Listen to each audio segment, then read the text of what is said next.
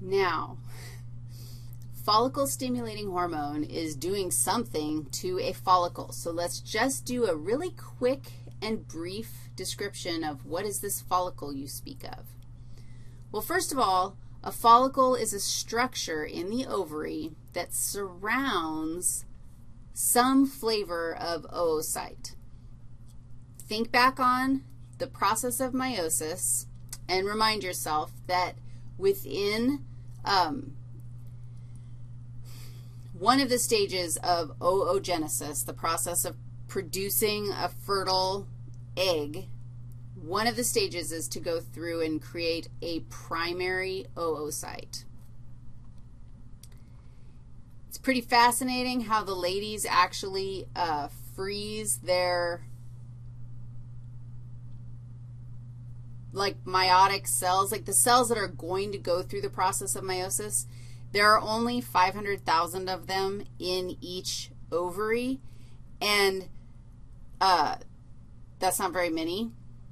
And they get frozen in meiosis. They get stuck in this primary oocyte stage. And they're stuck inside something called a primordial follicle. And I'm drawing little flat cells around this oocyte to show you that this is a primordial follicle. Prime, that's an R, primordial follicle. Now, follicle stimulating hormone. Who do you think the follicle stimulating hormone is stimulating? Follicle. And I'm not going to go into all the crazy details. We'll avoid those crazy details. You can go to anatomy to look for those. But I'm just going to do like a really quick, like from here, over the course of 14 days, and under the influence of follicle stimulating hormone, the follicle is going to grow. Luteinizing hormone plays a role as well, and we'll talk about that in a second. Inside my follicle, even after 14 days, I'm going to still have a, an oocyte of some flavor, but now it's actually a secondary oocyte. And it's sitting inside a mature follicle. So I'm going to draw you a mature follicle. And you'll see, I mean, I'm not even going to do it any semblance of justice because mature follicles are gigantic. At the beginning of the cycle, follicle stimulating hormone stimulates, I mean, up to 20 follicles out of your 500,000 in your ovary to start to develop.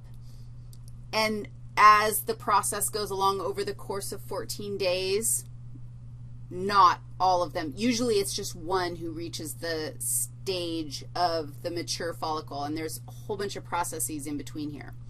So the mature follicle is surrounded by uh, a type of cell called a granulosa cell. There's a reason I've done it in green. I'm going to tell you that follicle stimulating hormone stimulates granulosa cells.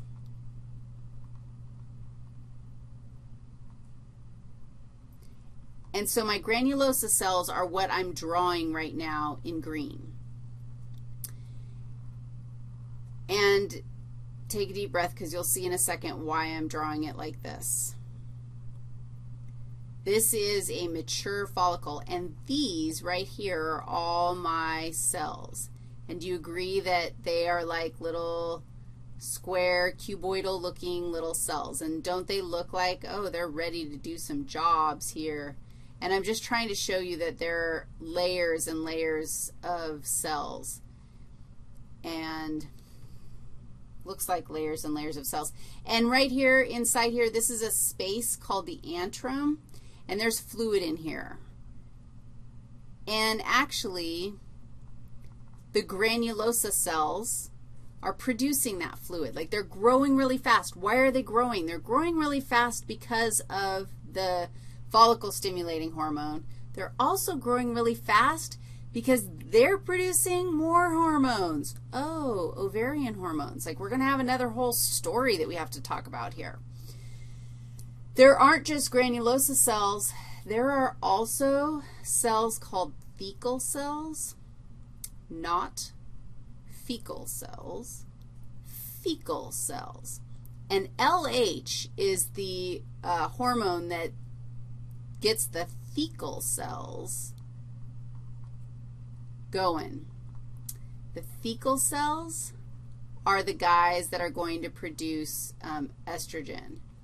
So look, the thecal cells surround the outside of the mature follicle. Now, primordial follicles, I mean, we might draw like some little like baby lines like, oh yeah, there's some precursor out there, but really the thecal cells start to develop with the influence of follicle stimulating hormone, they start to develop. Now, I think that what we want to talk about is who is being produced by my thecal cells. These guys are going to produce estrogen. How am I going to do that? I'm going to go like this and say that they're going to produce estrogen.